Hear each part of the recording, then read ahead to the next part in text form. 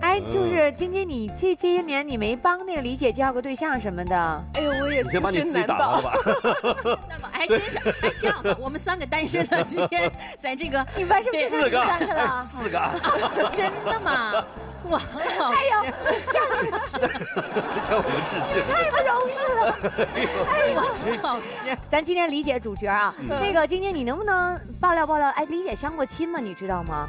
你应该是避着我相的亲吧？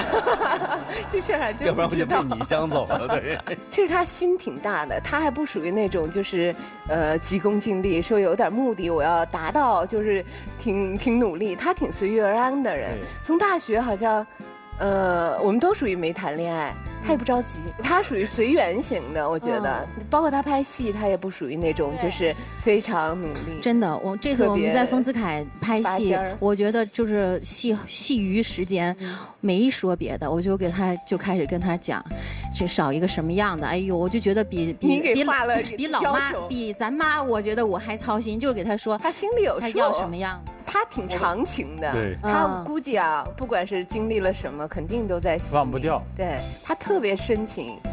你知道我们当时拍戏的时候，就是小品哈，就是你再不想哭，你看见他在那投入的演，也能骗出眼泪来，所以他是挺认真。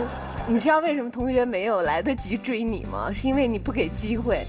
比如说啊，他的活跃已经不不留空了。我们有时候刚想深情的看看他的五官，他马上就一批小笑话对，主要是他是我们班负责演小开心果小品小笑话的，就课余嗯永远黄磊说：“哎呀，我现在有点累，来来小节目呢。”然后就绝对是李姐就主演的小节目的。啊他你知道吗？在我们班啊，他是我们班的化妆系的，啊！我们所有人演小品、演汇报、演，他永远什么给人点他在给我们痦子呀，啊，他给化妆啊，啊，画两个奇怪的眉毛呀。对，真的他发明的。他说把门牙擦干净，你上面没有口水了以后，就拿眉笔咔咔咔使劲涂使劲涂，真的那个黑擦不掉，对就在台下看这个人就没牙。没。牙，嗯对对他发明的，他点的痦子，你远处看，你觉得那痦子上都长出毛了，他就能把那位置给你点的那么到位，那么奇葩，就是他给我们画的，